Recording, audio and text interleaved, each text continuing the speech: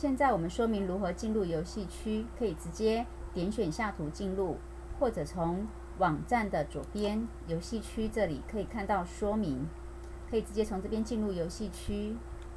以下来介绍游戏区分级游戏呢，总共现在有十六种游戏。如果已经会了基础拼音的，就可以练习比较简单、比较 easy 的听音选字。比如说念 man 就直接选 M A N。还有下面是听音的 PK 类，可以选功夫擂台或龟兔赛跑的中选音，只要听发音就可以选出英文来。比较难的是单字高手，你必须要了解中文，然后把英文的单字拼出来。那两人对战的部分，我们可以直接使用键盘，两个人来做 PK。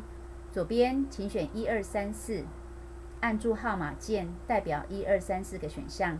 右边的人或者是兔子的话，请按右边的从零减号等于斜线，分别代表一二三四。那两人对战呢，有龟兔赛跑、坦克对决，还有超严肃版，也可以亲子共学。抢答的部分有中选英、英选中、听音选中文。听力的类型呢，有单字高手或是中选英、英选中。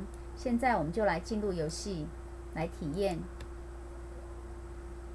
好，进入游戏区之后，请先选择书名类别。对照了阿联单字达人手册学习手册上面，A 是属于基础拼读字，B 常见字，C 主题单字。点选完之后，可以选测课，然后再从游戏这边直接进入，然后按 Go。也可以从四分级游戏总表这边点选要选的测课，还有题库选好之后按 Go，总共会有十六种游戏，请点选要进入的游戏。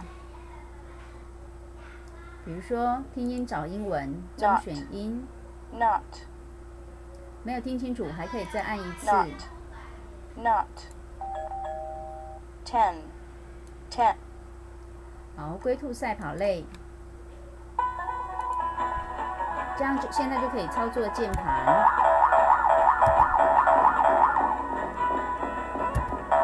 两个人进行对战。超严肃版也是一样，使用键盘。来进行游戏。答对了。坦克对战，两边进行。好，那请你要。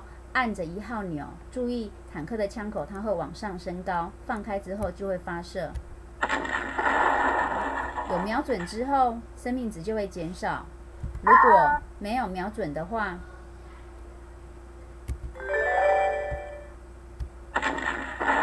生命值就不会减少。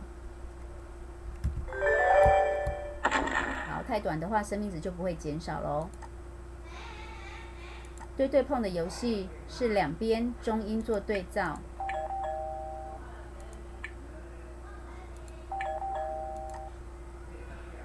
好，我们再来回上页。第五个分分课教材 lessons 是针对基础拼音、刚学英文的孩子，可以从这边来做练习。总共分成十一课。好，按 Go，我们进入，分成 A、I、O、E。U 五个，有双语版，选英文、选中文和对对碰。这边可以练习基础发音，这边都是以 A、A、A 短音为主，让学生做比较。Mad, mad, bad。